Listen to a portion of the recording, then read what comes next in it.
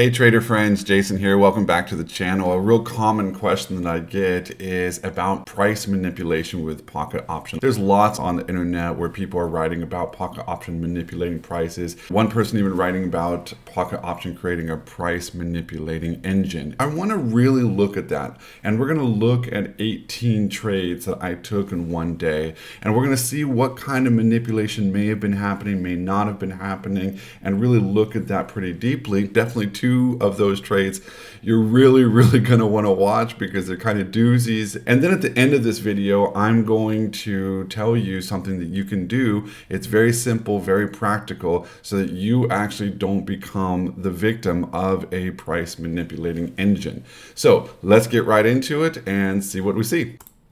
Okay, so my first trade here is a call on the Aussie franc. You can see it came down to that resistance that I have marked out on that, uh, excuse me, it comes down to that support that I have marked out on the chart. And it's moving up here pretty nicely, pretty happy with this so far. And it looks like it's been a nice clear win. Oh, and then we get this drop and the very last second we get a loss here.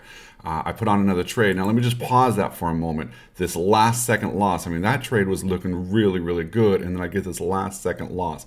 Uh, what do we got to do there? Like what's going on here? Could that be manipulation? One of the things you want to do is see how the price is on other charting platforms. You can see the price began to move down there on MetaTrader as well. So it doesn't really look like that was market manipulation, any kind of price manipulation that was there to ultimately get me to lose. Uh, as you know, as you can see here, I have increased my trade size here on the second entry and it is uh, definitely a good place if they're going to do price manipulation, price um, changes to get me to lose. It, they really would have been a good job to have done it then when I would have lost more money. Here I'm now on the Aussie franc. Price begins to move down very nicely. I'm quite happy with this.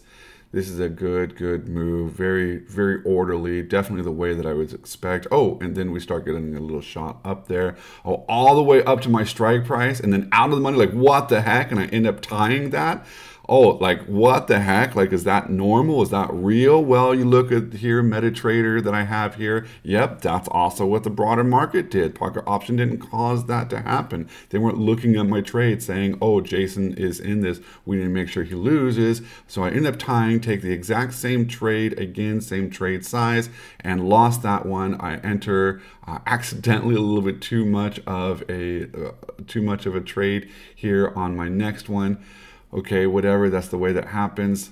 Hopefully I'll win this and uh, can then move on to my next trade. And I do win that very, very nicely. Then I go back to my original trade size here in the Euro franc and I enter into a call. Price starts to move against me. I'm watching how it's moving down and it's going down very quickly to that next level. So I was like, all right, well, I'm just going to put in another entry here because already at that next level. That first entry I could have just let go. I didn't need to place that first entry, but I wanted to give it a shot, see what it was going to do and uh, and it just did not work out in my favor so I put that next entry on and here I am out of the money. Lose that one. I still like the trade. I like the level so I put on an immediate third entry here to see what happens. And the price starts moving even further against me. And I'm like oh my goodness what do I do? Do I just stop here? Do I put on a fourth trade? I actually decided to put on a fourth entry. I don't do that very much. I don't know this maybe happens once a month or so. But it was also the summertime. So I'm like okay summertime. A lot of trades can take a little bit longer to develop but this thing starts moving against me as well. I'm like oh crud. See it coming down to a very very good level. This is something I maybe do once maybe twice twice a year. I actually do put on a fifth entry. Look at that. You can see 60% of my account. I really, really like this level. And I want to tell you, if Pocket Option were into actually manipulating the price, this would be the one for them to manipulate the price on. That would have been the one for them to cause me to lose. Because look, I made $2,400 on that. Puts me nicely back in profit. That would have been the one that they should have manipulated the price on. But they didn't. They actually, you know, it, it won. Why? Because that's what the bigger market was doing here. There wasn't any manipulation. And if that if they are manipulating things, their price manipulating engine definitely screwed up there. And oh, did you see that? Did you see that? Did you see that, guys? I'm going to go back there a little bit. Watch this. Watch this. I'm losing. I'm losing. Now it's tied, tied, tied. And in the last second, a huge move up. A huge move up. I'm going to go back here to full screen for a moment. Guys, this is the type of stuff that everyone says, I lost in the last second. How could I possibly lost in the last second? Pocket option is manipulating everything. Had you ended up losing that trade, I guarantee you that's what everyone in the world would have been saying. They're manipulating, they're manipulating, they're manipulating. But look, it was a last second move that moved in my favor it's kind of crazy what people do that when there's a last second move that moves in your favor, like, wow, oh, cool, yeah, awesome, I got lucky, great, great, or whoa, cool, look at that, I'm such an awesome trader, wow, I'm so good. But it's a last second move that moves against you. Brokers are manipulating everything. Market makers are bad. Everybody's just trying to out is just out to destroy my account. They figured out what my strategy is and now they're working against me. Guys, I've been trading this strategy for a long, long, long time and it still works. It's still profitable because it's based on high quality trading principles. The way the market actually moves, it's not based on little idiosyncrasy. It just works and nobody has figured it out and working against me. Look at that it moved last second in my favor there. You know, like that happens so often. You get yourself a good strategy, you're going to get those kinds of moves that move last second in your favor because of what happens because people start flooding orders into that spot. And that's what causes these moves what you're doing is you're choosing crap strategies that you find on YouTube somewhere. And I know I'm on YouTube, I get it, but you find crap strategies and then it goes last minute against you because the actual people actually trading the market are doing something completely different. So the orders get flooded in and it goes completely against you last second. So don't like just don't go there okay? Just just just just don't go there. All right great. Let's let's let's jump in and keep on going here. All right so we're in this dollar cad get that beautiful win there. Okay so moving forward here uh, we're in a euro cad got a euro cad put going on here. And uh, let's just see what happens here now, my starting balance was $2,683. Oh, I said it was a put. I meant a call. Uh, $2,683. So we're a bit in profit here.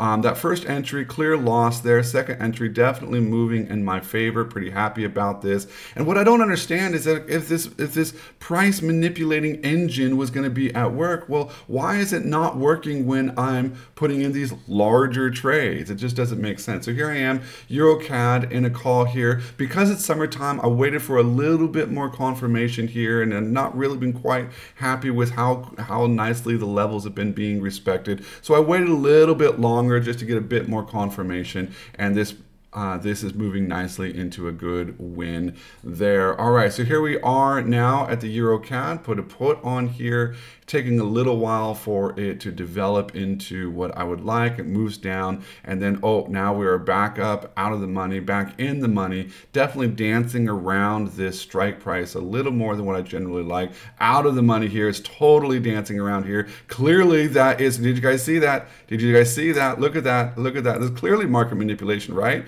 I mean, I was losing and losing and losing and then in the very last second, whoops, whoops, whoops, in the very last second, what does it do? Let's just watch that again. Okay, I'm losing back and forth. Uh, I'm out of the money, in the money. Oh, last second in the money, right? That was market manipulation, right? That was price manipulation to get me to win last second, right? Guys, like it doesn't make any sense. Like I'm getting all these last second wins.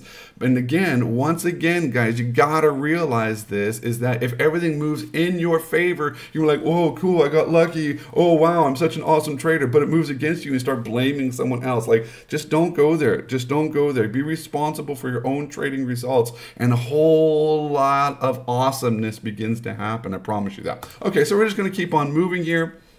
And also, you want to make sure that you do protect yourself against market manipulation, just in case that is happening. And I'm going to, of course, show you how to do that in a few moments once we just get through these trades, which we're almost done here. This is just turning out to be a really, really nice trading day. Lots and lots of trades. Nice win there. Like I said, right around $2,600. 2,683 was my starting balance. And so, um, yeah, just moving through so some nice profits. All right, we're down a little bit. EuroCAD, we put on a first entry, put on a second entry. First entry is definitely in a place of losing. Let's see what it does here. And oh, it started moving up, but no, not not gonna get there. Oh, oh, nope, lost that, lost that last second. It was going in my direction. They clearly manipulated it so that I don't get that win. And then that second entry does in fact win. And so we can see here now that that ended up with $3,500 there at the end. Really, really nice. Ultimately ended up with a nice profit. I ended the day with $813 profit. So that was really pretty nice. And like I said, started with 2,600. So you can do the math there on what that ultimately is in profit. I think in these trading sessions, I think it was like right around 28%, something like that. So I'm pretty happy with that. Now, here's the thing is that maybe you are concerned with price manipulation engine. Here's how you can actually ensure that you are not victim to that. We do not use the pocket option charts. Like there's no reason to use the pocket option charts. If they are manipulating things and you're only using the pocket option charts, you can't do anything about it. You have no idea if it's being manipulated or not. You just have to take that chart's word for it. So we always have a free software, whether it's MetaTrader or TradingView or something like that. We use a free charting software where we can see third-party data feed. Now the thing to keep in mind is that Forex data is always going going to be slightly different. It's never going to be exactly the same. Like you go into the airport and you want to exchange your money at one little kiosk there. The price for the exchange rate is going to be different than you go to a different kiosk. They're never the same. That's just normal amongst currency. It's not like if you choose like Apple stock, you buy it at this broker, you buy it at that broker, you buy it at that broker. It's all going to be the same. Apple stock is uh, and stocks and futures. Those are those prices are regulated by a central centralized regulating agency. That's not the case with currency. So it's always going to be different. So we use a separate software to where we can see what the price is doing from a third party data provider and see if it is remotely close to what pocket option is showing. I virtually never see a significant enough discrepancy to be concerned. I have in the past, and when I do see that, which I haven't seen it in probably two years, but when I do see that, I'm just like, all right, great. I'm just not going to trade that pair for a moment until that discrepancy goes away and then all of a sudden everything's good. Okay, so these are the types of things that we talk about in the trading room. This is the, these are the types of things that go on in our training where we teach you how to approach this type of trading, binary options trading, from a from a, a, a risk perspective, from an institutional trader perspective, because that's what my background is, and teach you how to deal with all of these elements of risk so you can approach it like a professional, so you can actually start making consistent consistent profits and not constantly blame someone else for everything, but how to protect yourself and how to actually be good in trading to make consistent, reliable, and predictable profits. So definitely join us in the trading room. There are links down below to be able to get in there. Send us an email. We'll make sure that we get you all of your questions answered. And then join us in the trading room. Like, what the heck are you waiting on? Just get in there, have fun, make money with us, and let's do well. All right. See you in the next video and see you in the trading room.